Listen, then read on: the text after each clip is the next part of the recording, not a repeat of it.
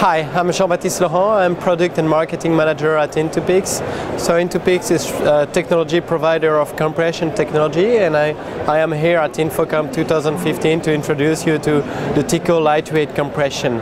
So what we show here is a 4K 60p uh, encoding and decoding using the, the new TICO lightweight compression. TICO lightweight compression is a technology, technology that provides visually lossless compression up to 4 to 1 with a very low latency, pixel, pixel line based latency. So here we have 6 line latency at the encoder and 3 line latency at the decoder.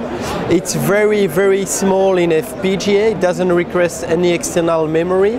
So it can go in the smallest low cost FPGA and also it's very fast in the CPU so what we show here in this workflow is a video source decoding in real time on an Intel 7 processor 4K 60p, feeding through HDMI 2.0 4K 60p in an Altera FPGA where we have a 4K 60p encoder, 4K 60p decoder, HDMI output, and then we go in a Xilinx FPGA doing 4K 60p encoding, 4K 60p decoding, and then finally we go to the 4K uh, display here.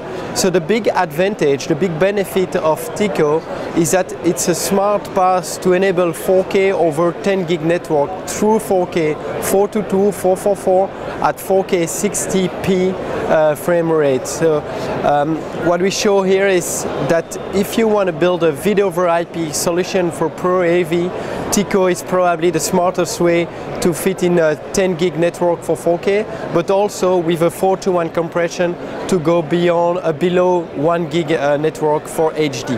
Thank you for watching. Uh, do not hesitate to visit our booth tomorrow.